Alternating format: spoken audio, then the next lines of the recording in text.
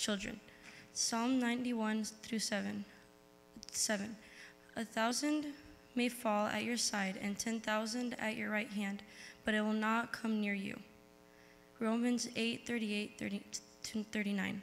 I'm convinced that neither death nor life, neither angels, angels nor demons, neither the present nor the future, nor any powers, ne neither height nor depth, nor nor anything else in all creation will be able to separate us from the love of God that is in Christ Jesus our Lord.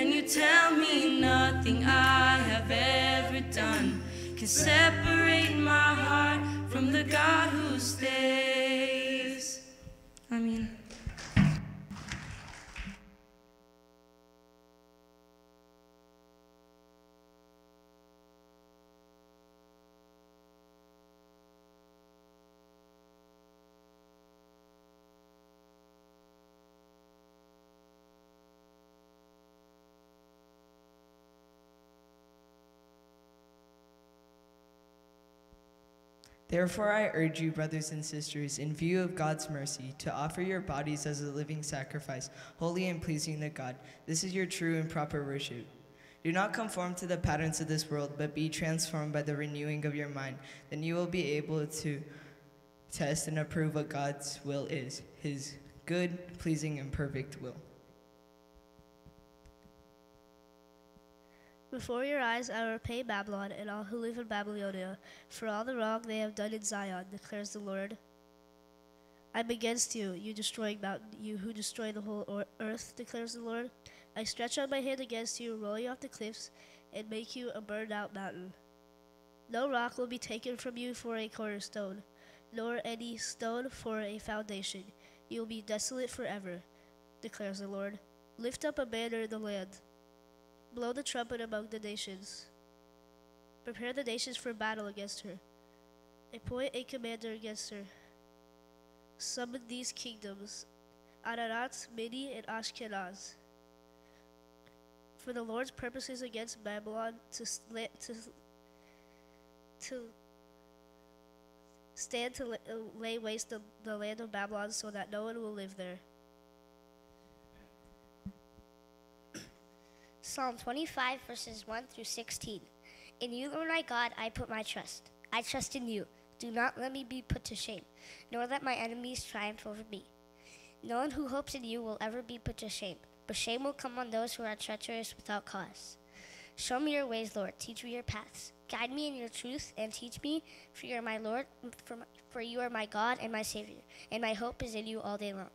Remember, Lord, your great mercy and love, for they are from old. Do not remember the sins of my youth and my rebellious ways. According to your love, Lord, remember me, for you are good. Good and upright is the Lord, therefore he instructs sinners in his ways. He guides the humble in what is right and teaches them his way. All the ways of the Lord are loving and faithful toward those who keep the demands of his covenant. For the sake of your name, Lord, forgive my iniquity, though it is great. Who then are those who fear the Lord? He will instruct them in the ways they should choose. They will spend their days in prosperity, and their descendants will inherit the land. The Lord confides in those who fear him, he makes his covenant known to them. My eyes are ever on the Lord, for only he will release my feet from the snare. Turn to me and be gracious to me, for I am lonely and afflicted.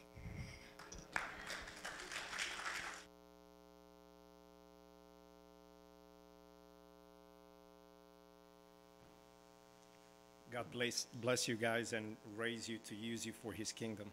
Um, if you will allow me, I'll share uh, the secret of how my kids started to say these verses. So we started this, I talked to my wife and we started this tradition of uh, telling the kids to learn one Bible verse per day, just memorize one Bible verse per day. And then they got, and that my goal was for them to open the scriptures every day. And uh, they got competitive with each other and they wanted to memorize all the verses through the week and say them on Sunday nights. So that wasn't the initial intent. The initial intent was for them to open the scriptures and memorize one verse per day, but they want to keep going. So God bless them in that. And I hope they bless the church and make you guys uh, excited and happy. And I know it praises God. Um, Sora Valley are o cântare pentru noi în seara aceasta, după care fratele Liviu Apoi uh, uh, fratele uh, Petre are un, o cântare sau un îndemn.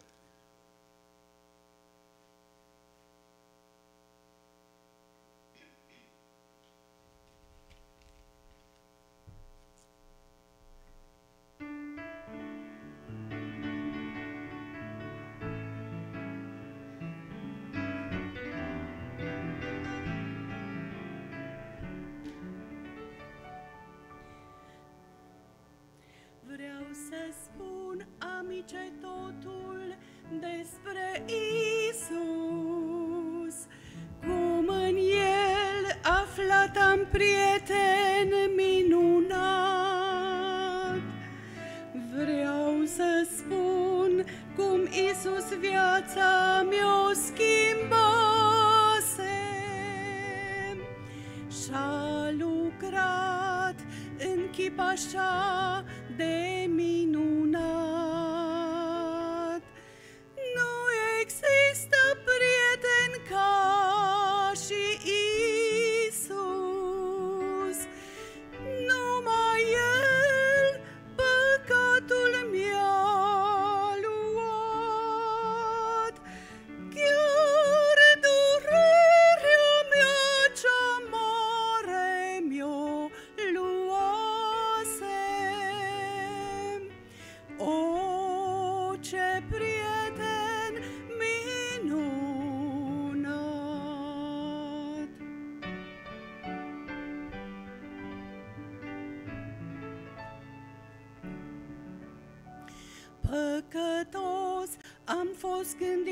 Iisus mă găsisem, chinuit, nespus de falsele greșeli. Dar Iisus întinse mâna-i salvatoare, mi-a arătat apoi un drum ce duce în cer.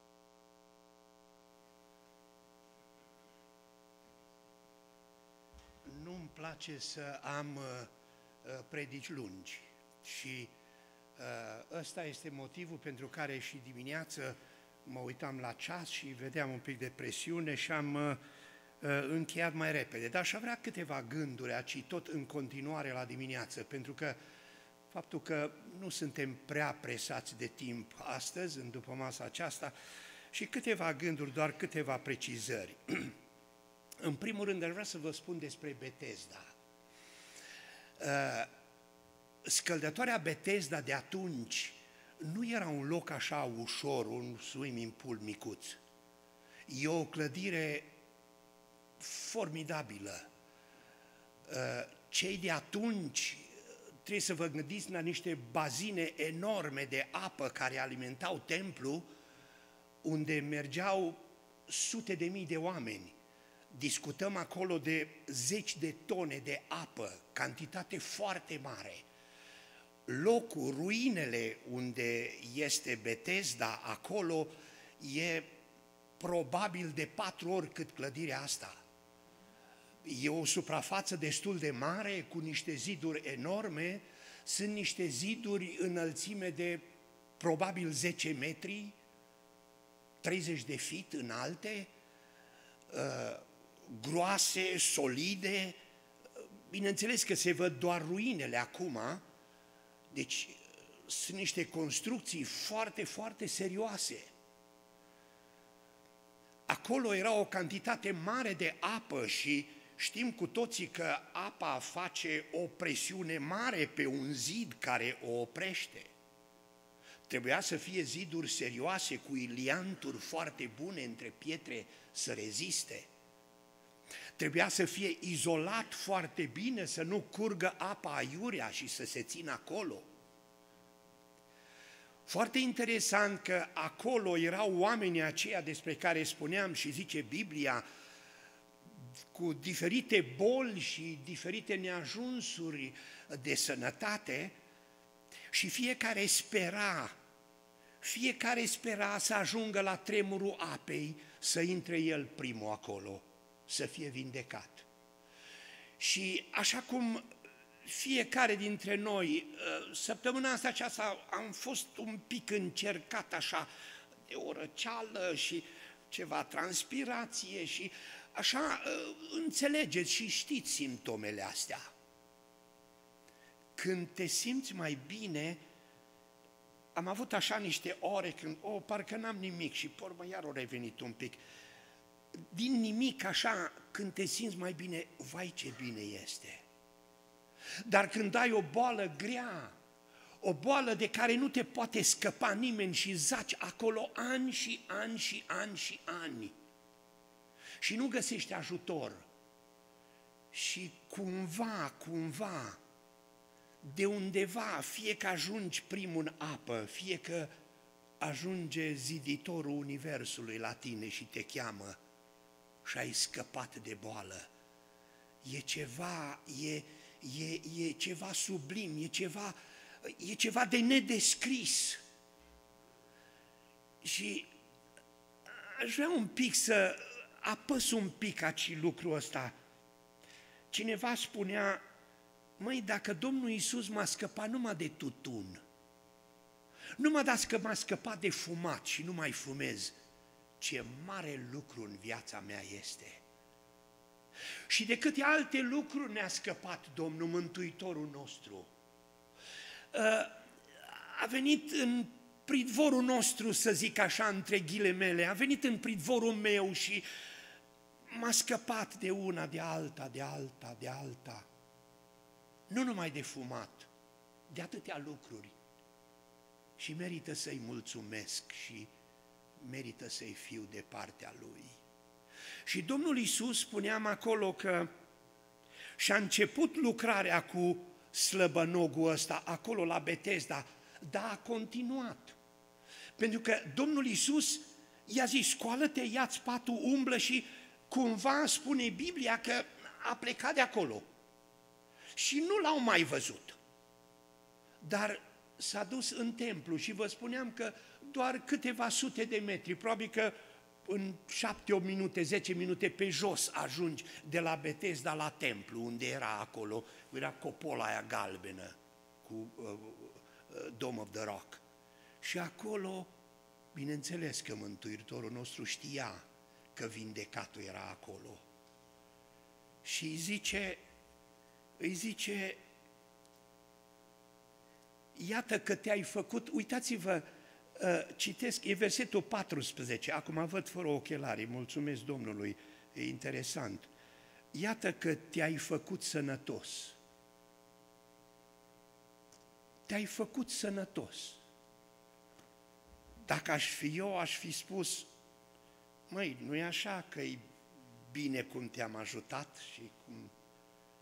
Și Domnul Iisus, în gingășia Lui de Dumnezeu, zice, iată, te-ai făcut sănătos. Și mai spune ceva, zice, să nu mai păcătuiești. Lucrarea pe care a început-o în Betesda o continuă în templu. Și vezi, tu slăbănogule, ai avut harul să te întâlnești cu Fiul lui Dumnezeu și până acum ai păcătuit mult, mult, mult, ai fost rău, ai fost îndărădnic, așa cum și eu am fost și încă sunt. Dar de acum înainte să nu mai păcătuiești, să nu ți se întâmple ceva mai rău, zice cuvântul acii. Probabil că continuând, și nu probabil că din Biblie rezultă că continuând în păcat, păcatul ți aduce mult necaz în viață.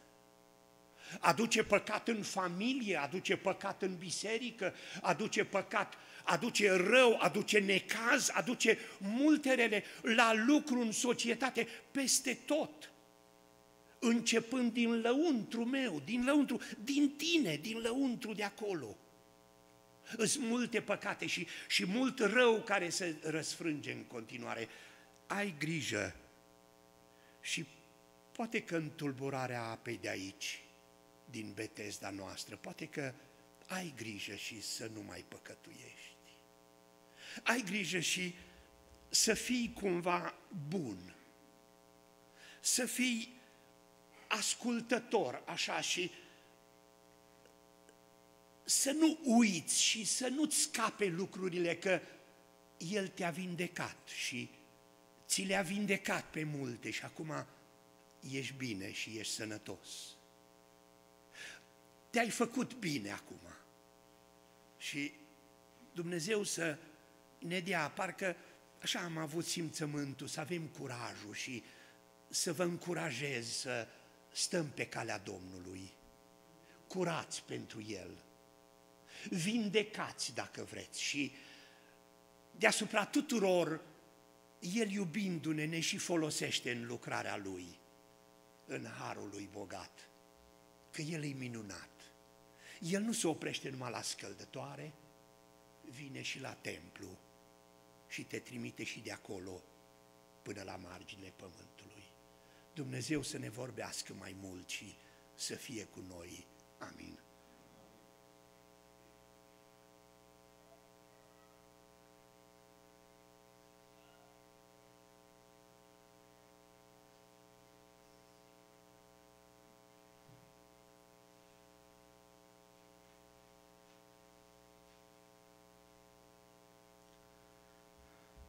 Parcă nu am curajul așa de mare ca să fiu după un roba Domnului care are cuvântul lui Dumnezeu potrivit pentru fiecare care suntem aici.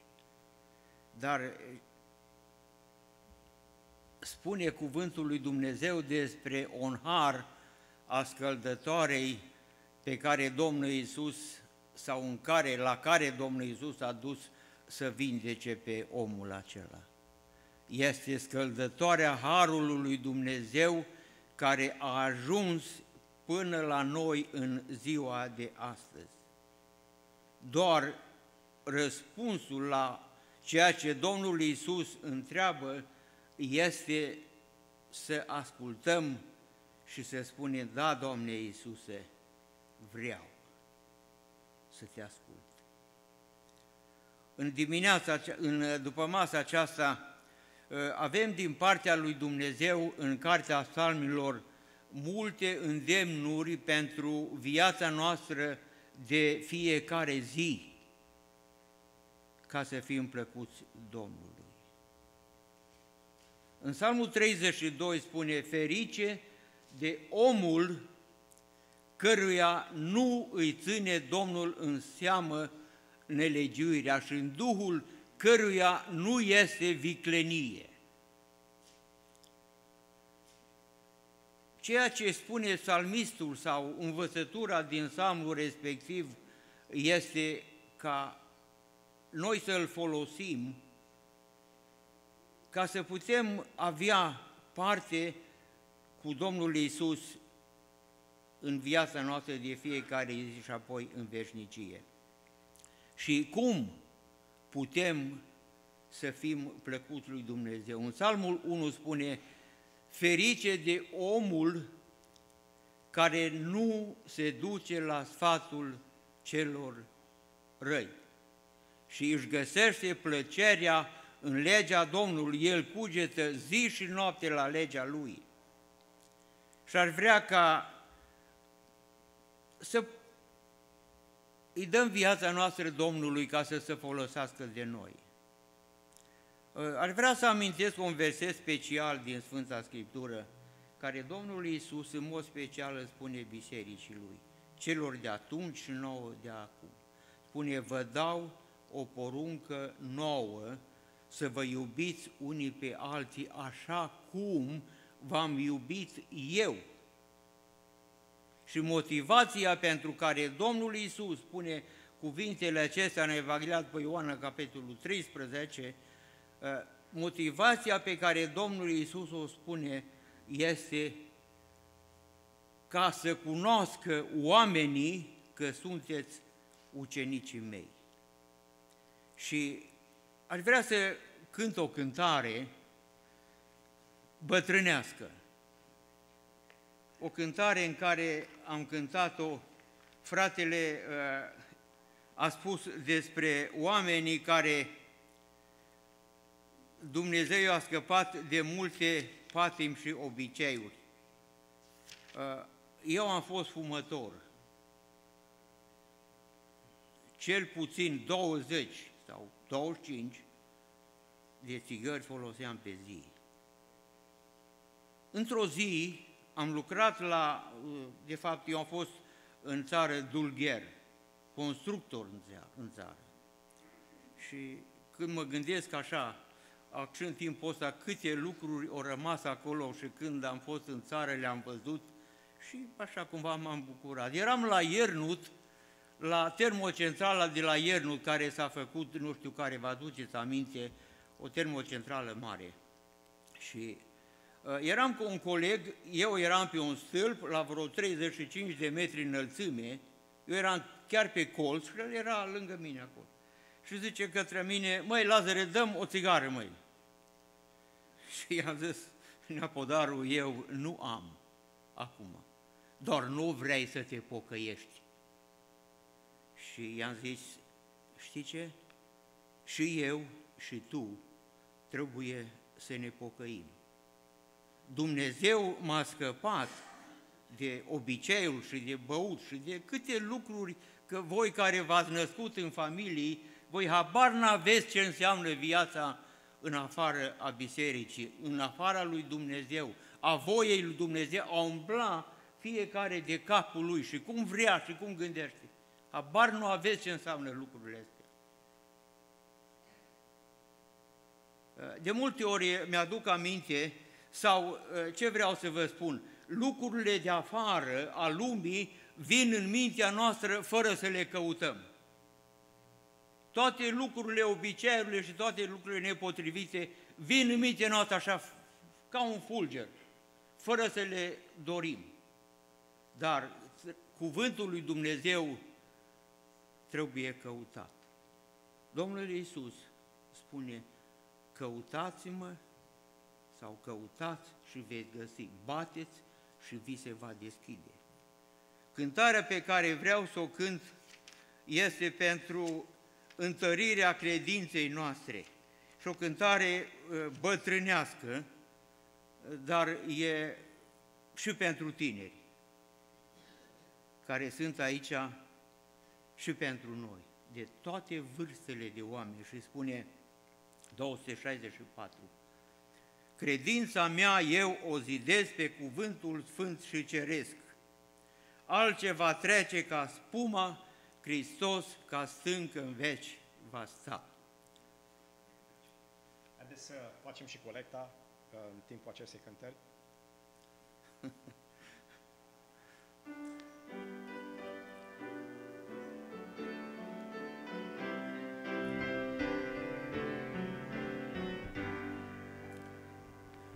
Credința mea eu o zidesc pe cuvântul sfânt și ceresc, ale ce va trece ca spuma, Hristos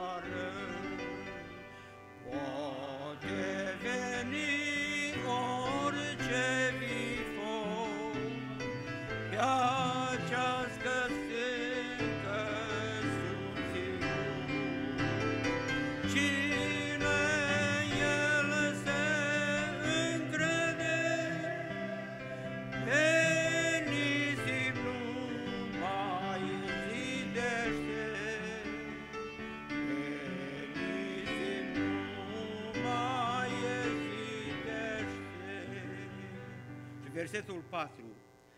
Iar când Iisus va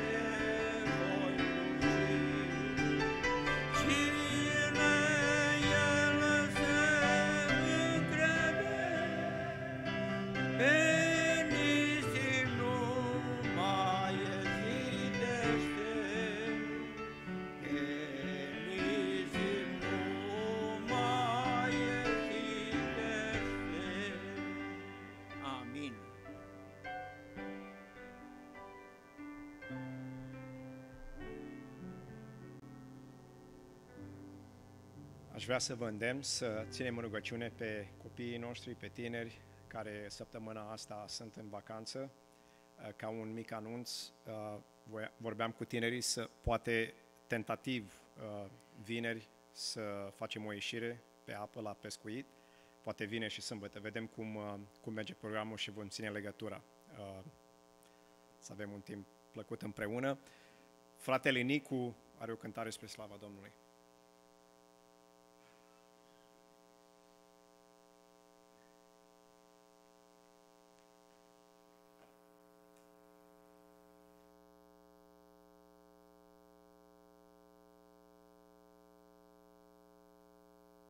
Fratele spunea că sunt cântări mai bătrânești și cântări așa mai lente.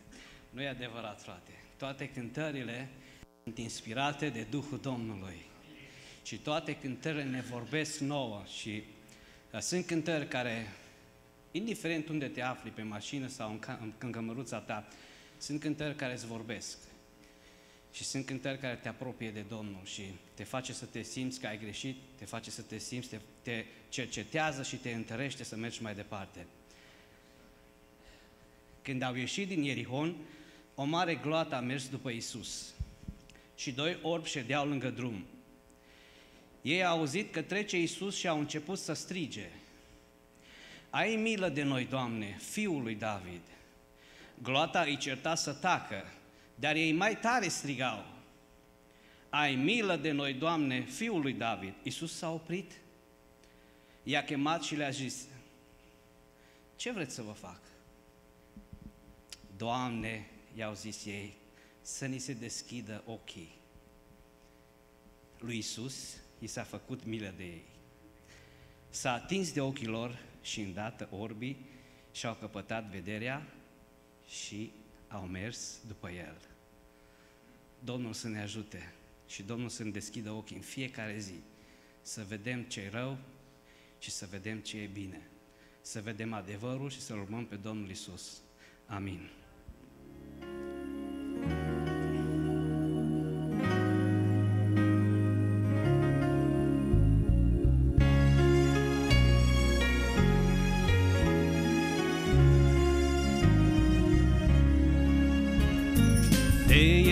Ești trudit și ți-e grea povara, nu vrei chiar astăzi să te ridici. Iată e clipa hotărătoare, trece Iisus pe aici.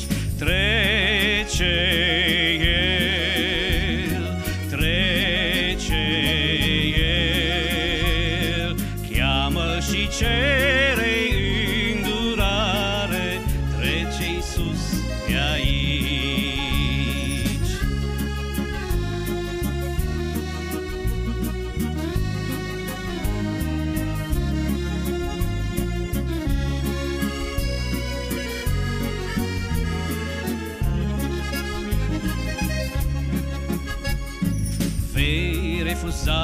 marea sa iubire Sau vei veni după har să strigi.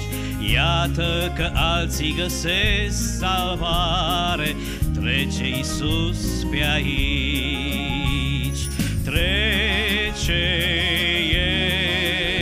El, trece El Cheamă și cere pe aici.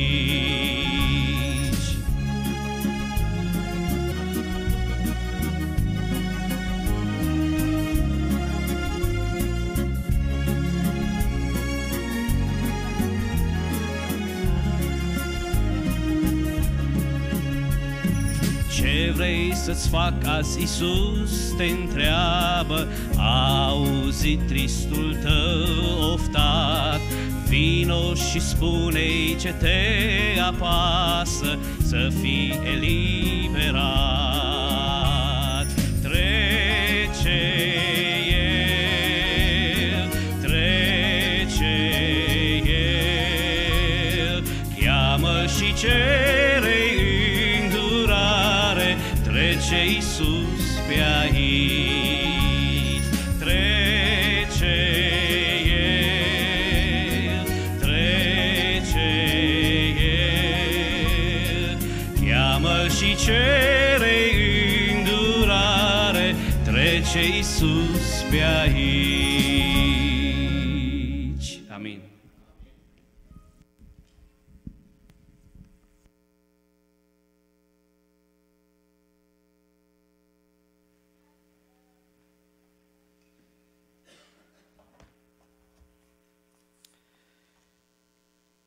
Haideți să uh, deschidem cuvântul lui Dumnezeu în această seară la Cartea Exod. Vom citi două texte. Unul este în capitolul 19, de la versetele 16 la 20. Al doilea este în Exod 33, de la 17 la 23.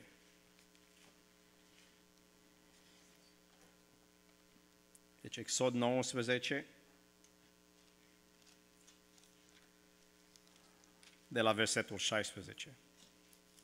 Și dacă vreți să deschideți la, la 33, uh, voi aștepta un pic. Haideți să ne ridicăm în picioare în onoare pentru citirea Cuvântului lui Dumnezeu.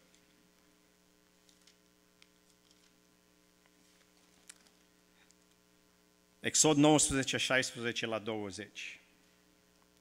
On the morning of the third day, there were thunders and lightnings, and a thick cloud on the mountain, and a very loud trumpet blast, so that all the people in the camp trembled. trembled. Then Moses brought the people out of the camp to meet God, and they took their stand at the foot of the mountain. Now Mount Sinai was wrapped in smoke, because the Lord had descended on it in fire. The smoke of it went up like the smoke of a kiln, and the whole mountain trembled greatly. And as the sound of the trumpet grew louder and louder, Moses spoke, and God answered him in thunder. The Lord came down on Mount Sinai to the top of the mountain, and the Lord called Moses to the top of the mountain, and Moses went up. In chapter 33, from 17 to 23.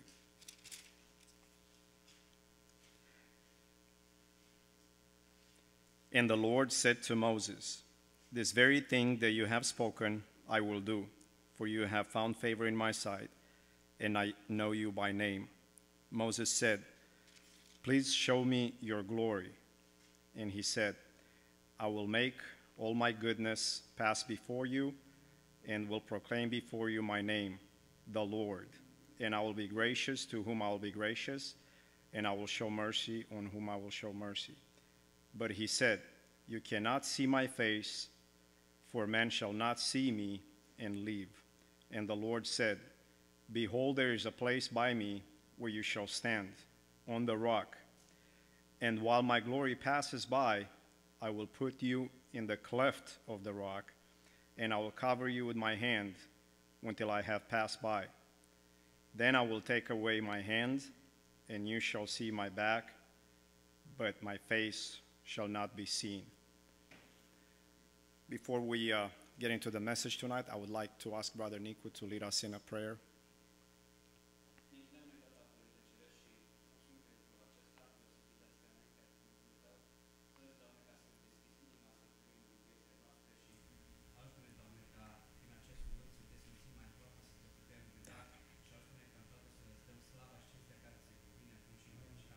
Amin. ocupați locurile.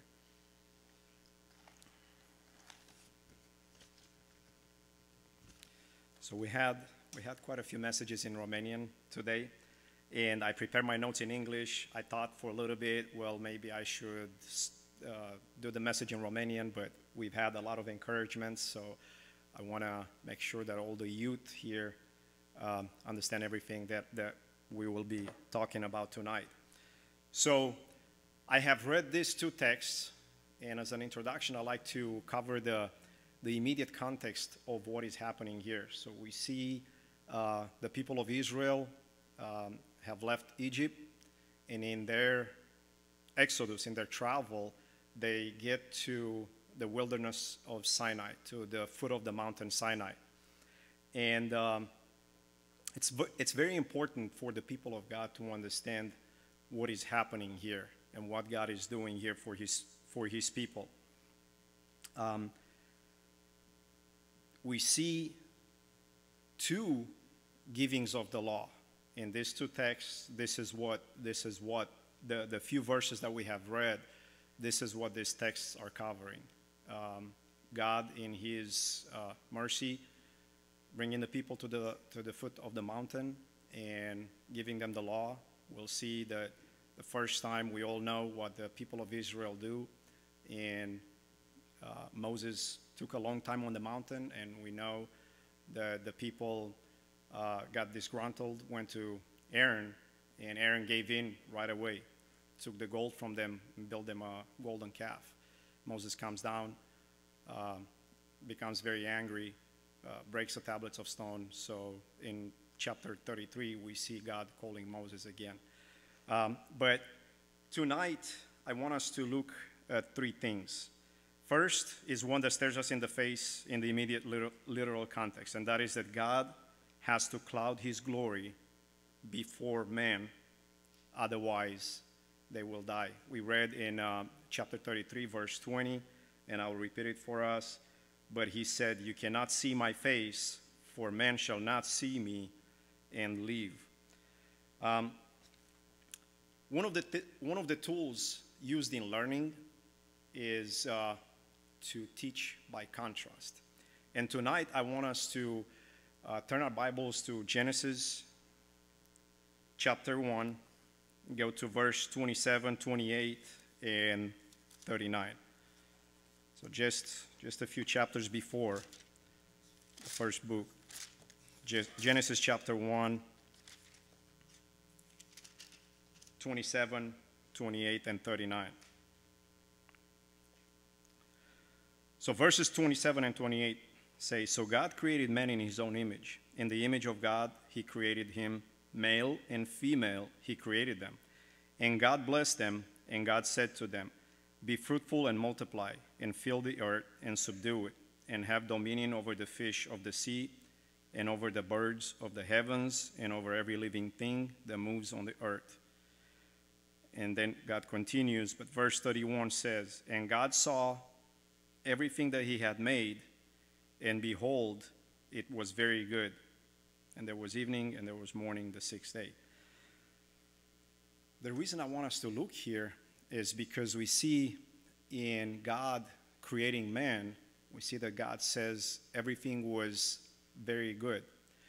When we move in Genesis in, in, uh, in, uh, chapter 3, verses 8 and 9, we see that God comes in the cool of the day to have fellowship with men.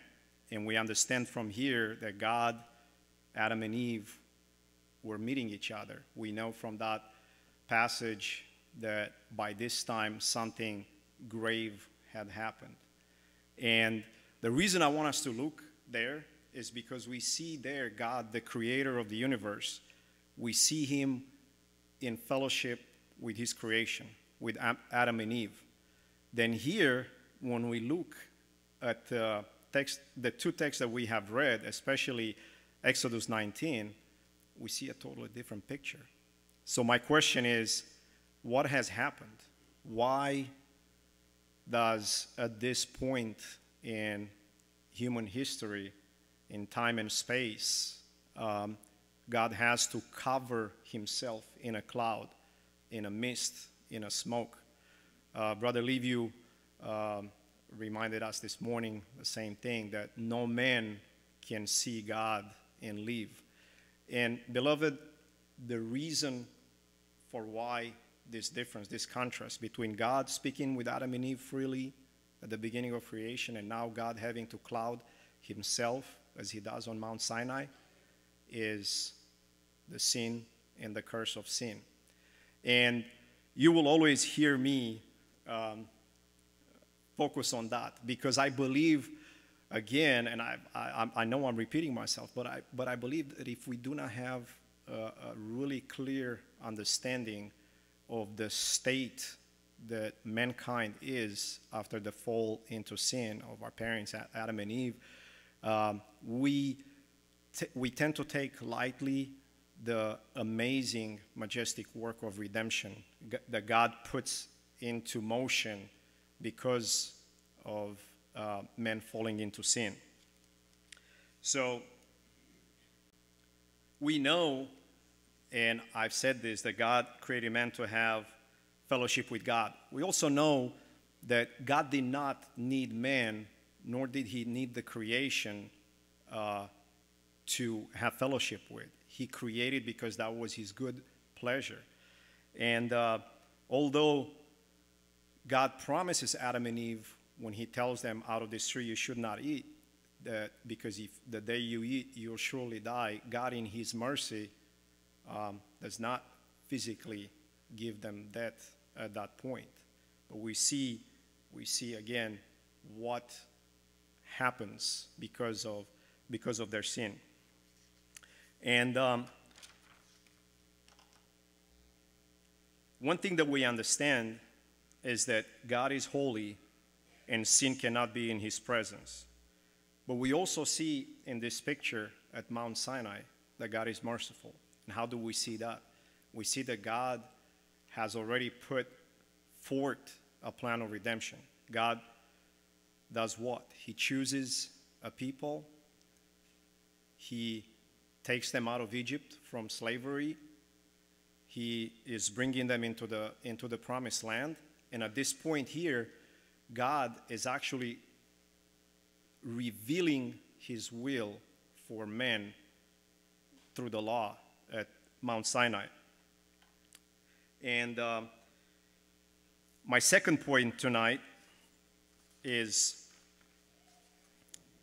the immediate mercy God shows the people of Israel in revealing His will to them, and, that, and, and in thus doing, He is revealing His law, a law that ultimately points to Christ.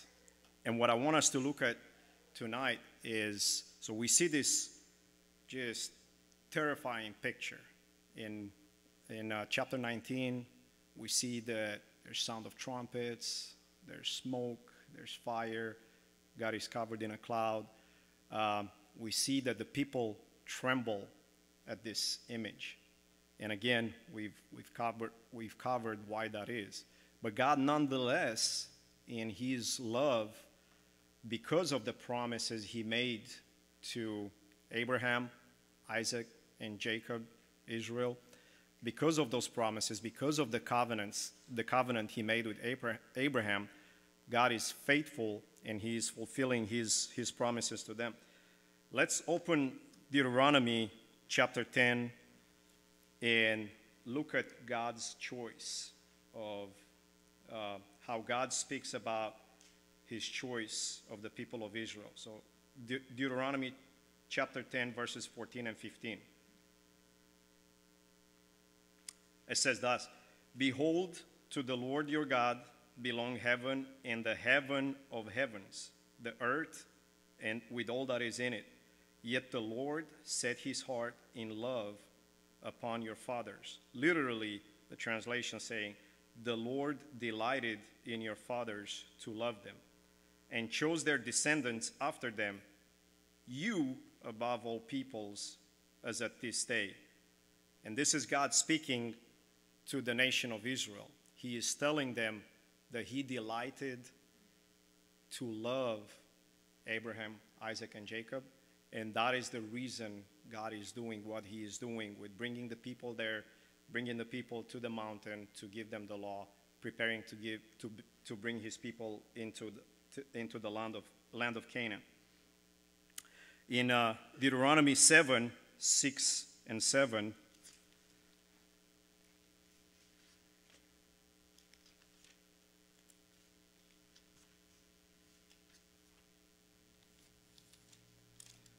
if you want to open with me, Deuteronomy 7, 6 and 7.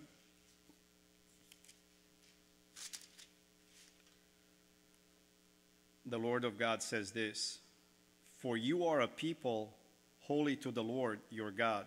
The Lord your God has chosen you to be a people for his treasured, treasured possession out of all the peoples who are on the face of the earth. It was not because you were more in number than any other people that the Lord set his love on you, and he chose you, for you were the fewest of the people of the peoples.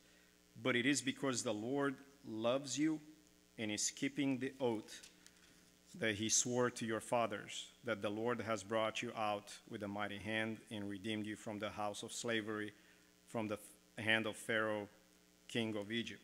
So we see here that God set his love on them. In verse 7, we see that because, and in verse 8, the answer, he set his love on them because he loved them and because of their forefathers, because of the patriarchs, Abraham, Isaac, Isaac and Jacob. And God is not only choosing Israel, but as we said, He's leading them out of Egypt to the promised land. He's giving them the law, establishing the, the Levites as the administrators of the law. He's calling them to be holy, for He is holy. And I made a comment in, in, my, in my second point that this law that God is going to give the people of Israel at Mount Sinai ultimately points to Christ, ultimately testifies about Christ. And if we if we open at Romans 3 verses 21 and 31, we will see what the apostle Paul has to say about this righteousness that the law and the prophets testify about.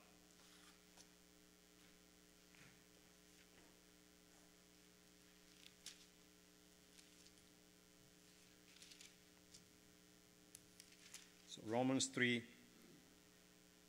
Let's start with verse 20 since it's, it, it, it, it's very important in the context.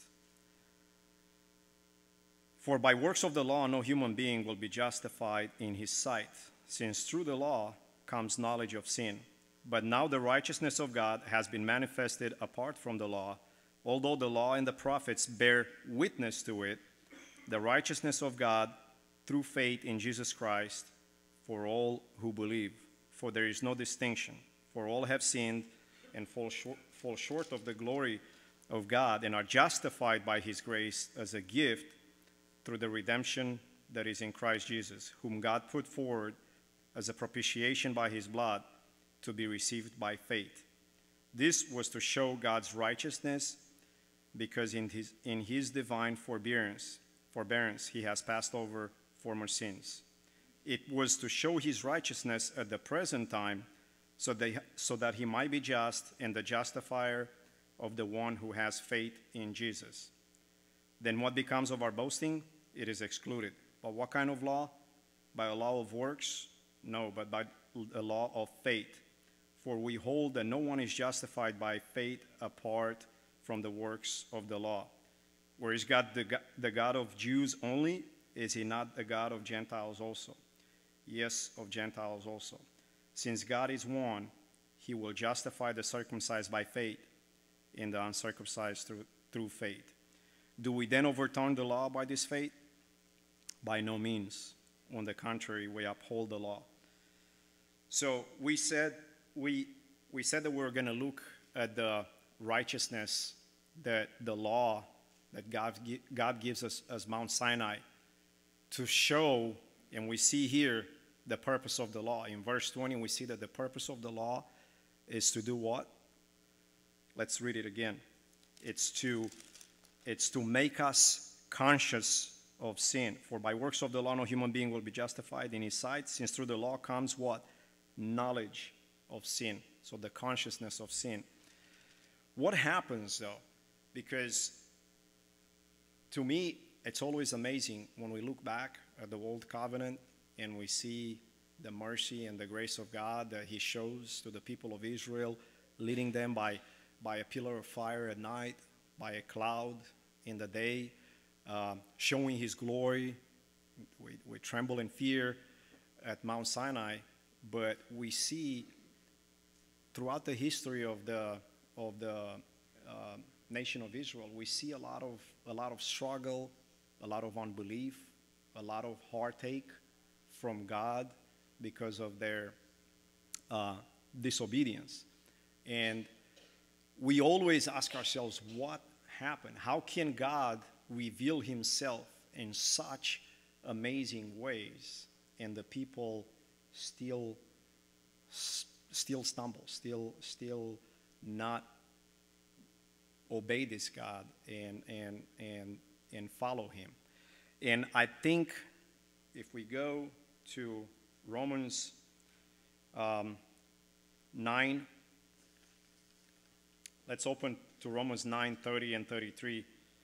We see what happened to the, to, to the Jewish people as a nation. We, we obviously know, and I want to I wanna, I wanna make this clear, we know that there were a lot of um, children of God in the nation of Israel. We know how they were children of God because Hebrews chapter 11 makes very clear to us when we have that big cloud of witnesses. Um, it says, for every name that the Word of God uses in that chapter, in chapter 11, says, by faith they did this. By faith, Abraham believed God. By faith, all of the prophets that were uh, sawed in two, that were killed, that were all of them by faith. This faith was in the common in the coming Messiah. But what happened to the rest of the nation that were unbelievers, and we see even here, we have been given account, I believe, uh, as far as fighting men that came out of Egypt at the census, uh, fighting men of Israel from the 11 tribes because the Levites were not to be fighters, they were not to be warriors. The count, I believe, was 603,000 fighting men. And uh, that's not counting against the tribe of Levites, it's not counting the, the older men, uh, it's not counting the women, it's not counting a lot of the people. So it's a great number of people.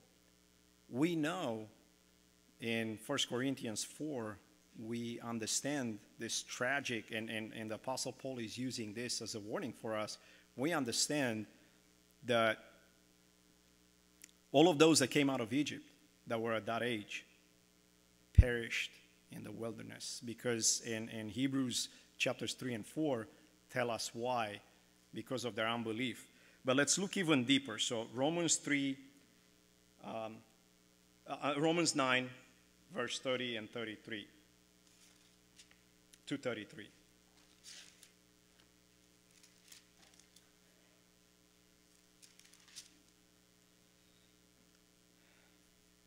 And Romans chapters 9 through, through 11 is Paul, um, Paul's uh, argument, Paul's desire to see the people of Israel uh, saved.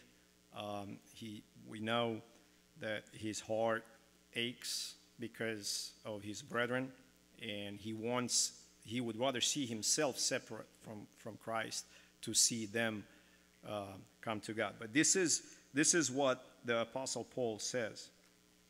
Um, Romans 9, chap, uh, uh, uh verses 30 to 33. What shall we say then? That Gentiles who did not pursue righteousness have attained it? That is, a righteousness that is by faith, but that Israel, who, purs- who pursued a law that would lead to righteousness did not succeed in reaching that law. Why? The Apostle Paul always, always expects a question coming. He sets up a thesis and then he expects a question coming. So, so the Apostle asks, asks he, he, here why. And this is the answer because they did not pursue it by faith, but, but as if it were based on works. They have stumbled over the stumbling stone, as it is written, and this is a quote from Isaiah Behold, I am laying in Zion a stone of stumbling and a rock of offense, and whoever believes in him will not be put to shame. So, what is the answer? The answer is the same, and it's sad, but the answer is the same for every other religion in the world. We know the people of Israel had the law, had the prophets, had the sacrifices, had later on the kings, uh, had everything, had the scriptures. But instead of them looking at the Word of God, looking at the law that God is giving them, and seeing what God points towards, they have taken this law and they wanted to attain righteousness by their own works. This is what the Apostle Paul is saying here. And if we look at every other religion in the world, what, and we talked about this at Sunday school this morning, what is in every other religion, who is the Savior? Yourself. You, through your works, will attain entrance to God, eternal life, whatever you want to call it. As, but we see tonight, and that's what I want us to see tonight.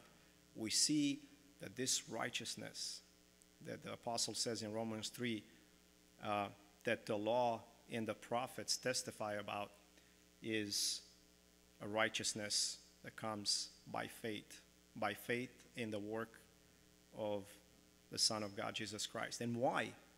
Why do you think a perfect sacrifice was necessary? And the scripture gives us the answer. We could not, on our own, pay that penalty. In our sinfulness, we did not even see how deep we were into, to say, into trouble with God. But we see, we see mercy in the fact that God saves through the same righteousness, through the same faith, saves both Jews and Gentiles, makes out of two people, as it says in Ephesians, Ephesians chapter 2, out of two people, he tears down the wall of division, and out of two people, he makes one. Um,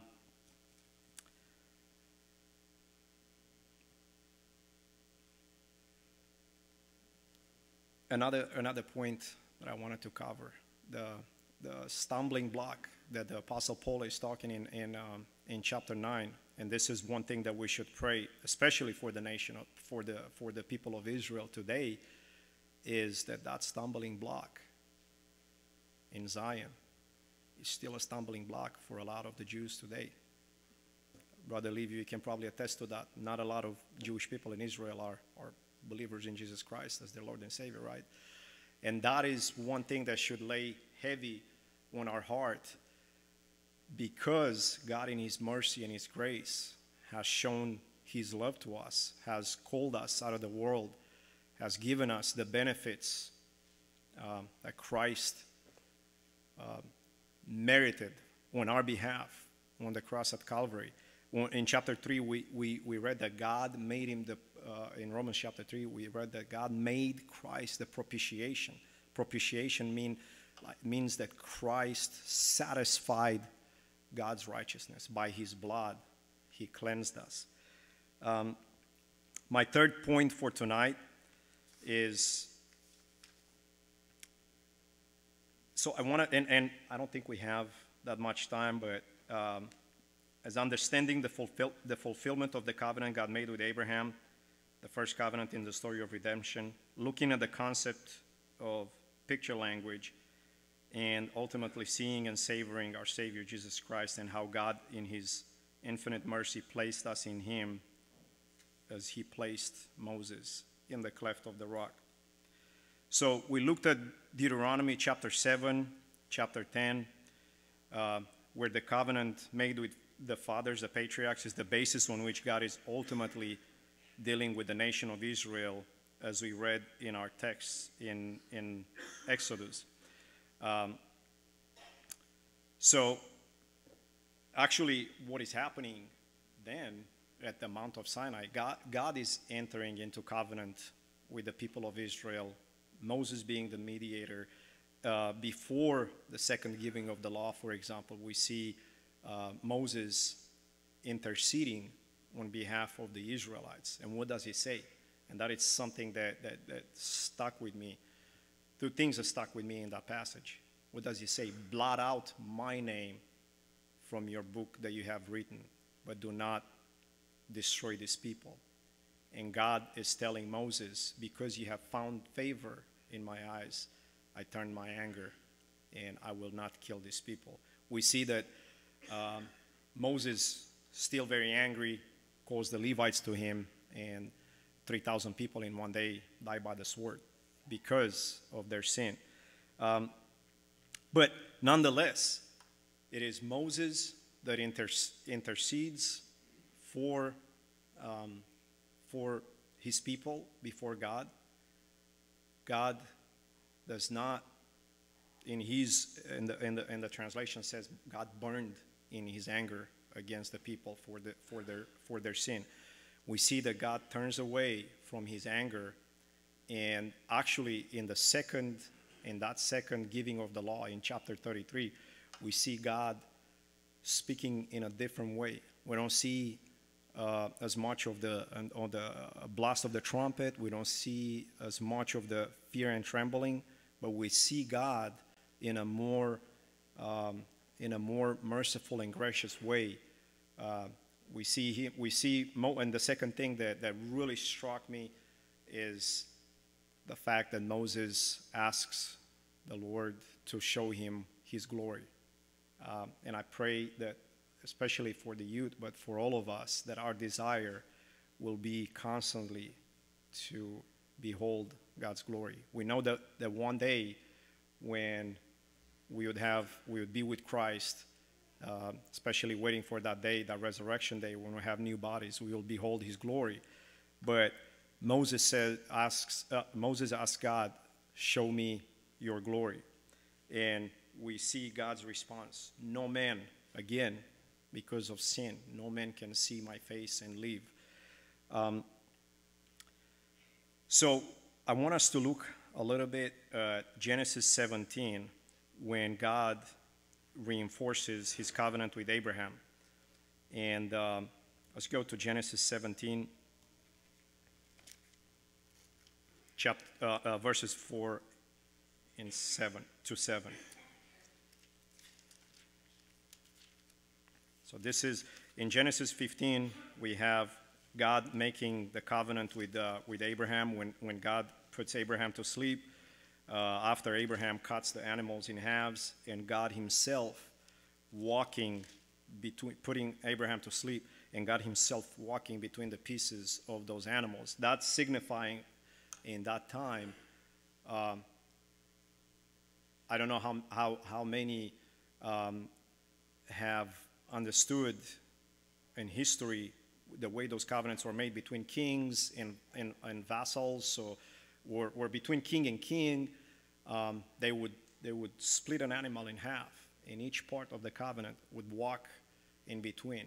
And the saying would, would go, if I break this covenant, I should be like that animal split in half. That was the, from, from historically, that is, that is how the people of Israel, well, the, not the people of Israel, but Abraham, Abraham understood that covenant. And what's amazing there God making that covenant with Abraham is that God Himself puts Abraham to sleep. And He is saying ultimately, I should be. God cannot be. God is perfect in His holiness. God is immutable. He's not bound by time and space. God cannot, the concept of God dying cannot even, doesn't even, eh, doesn't exist because God is so majestic.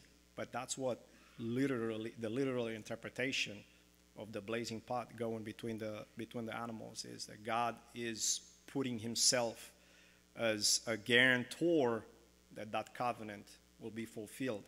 And in that what I want us to see in the covenant with Abraham is that God makes makes a few promises to Abraham.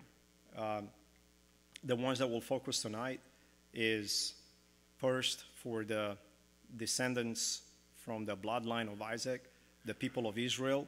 And that promise is what we see God fulfilling at Mount Sinai uh, and, and in the history of the people of Israel, giving them the land of Canaan. Actually, in, in Joshua chapter 24, it's amazing because God says, in everything that God promised Moses, he fulfilled. And a lot of people say, well, so, okay, that's it. It ends here. No, because the promises were multiple. So, one thing God promises to Abraham is that um, he, will, he will give them descendants as, as, as numerous as the, as the stars in the sky. Uh, another, promise is, another promise is that every nation will be blessed because of Abraham's, off, Abraham, Abraham's offspring. And that offspring is what I want us to, to, uh, to look at tonight. So I said uh, Genesis 4, uh, Genesis um, 17, 4 and 7.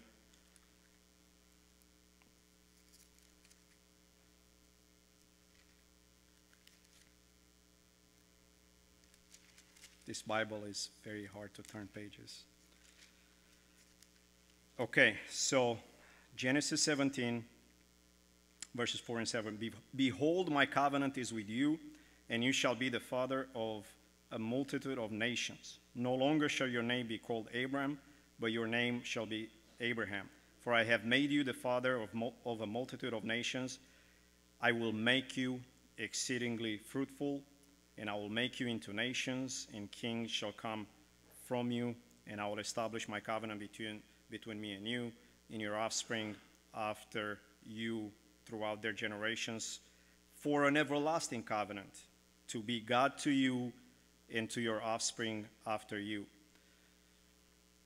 And then he, he goes into the, to, the, to the promises that, that, that he makes for the physical land and, and a physical nation.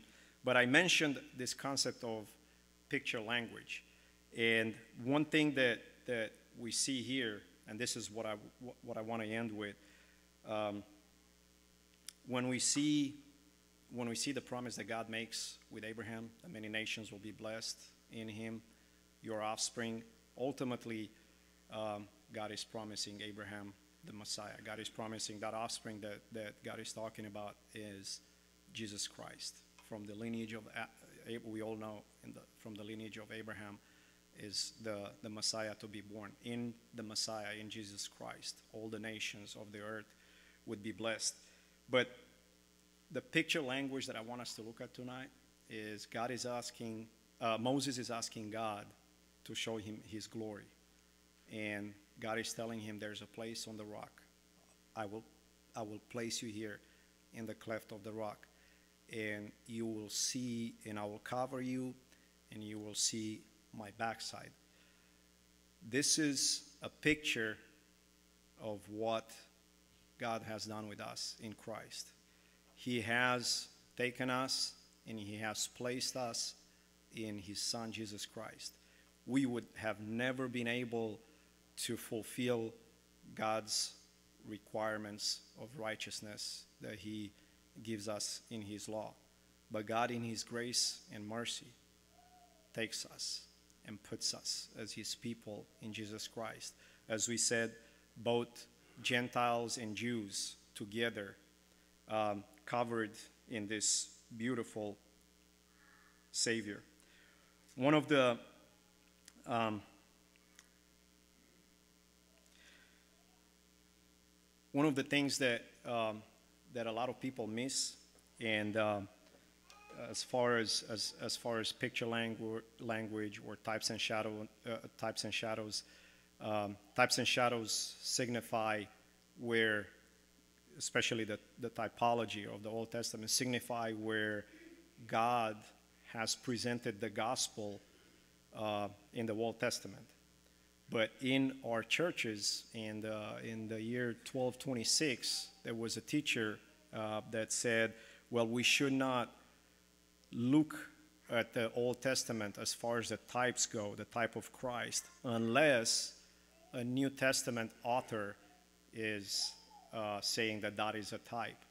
And so that was a good rule, but at the same time, the church, and this is what, uh, what uh, people in seminary, I mean, uh, uh, pastors in seminaries are learning even today, But I think what has happened by applying that rule across the board, we miss seeing Christ. And the, and the name of that teacher, I believe, is Marsh in 1226. But um, you can search for yourself. But one of the things that we miss by doing that is we miss seeing Christ. Uh, one of the one of the most beautiful pictures, for example, as far as picture language goes or typology goes, is uh, Joseph. Joseph was a representative of Christ. David, the king, as a, uh, as a, as a, as a type of Christ. Obviously, all these men were fallen in their humanity, and in the end, we know that no, no types that God uses in the Old Testament rise up to the level of our Savior, Jesus Christ, but that's what they do. They point towards Christ. And uh, I want to leave us, I want to I wanna leave us tonight meditating on um, um, a passage from Hebrews chapter 12, 18 to 29, which ties in with um, very good with, uh, with that picture that we have seen in, uh, in uh, the, giving, the giving of the law at Mount Sinai, especially the one from, uh, from, um, um, um, from chapter 19. So Hebrews 12, 18 to 29.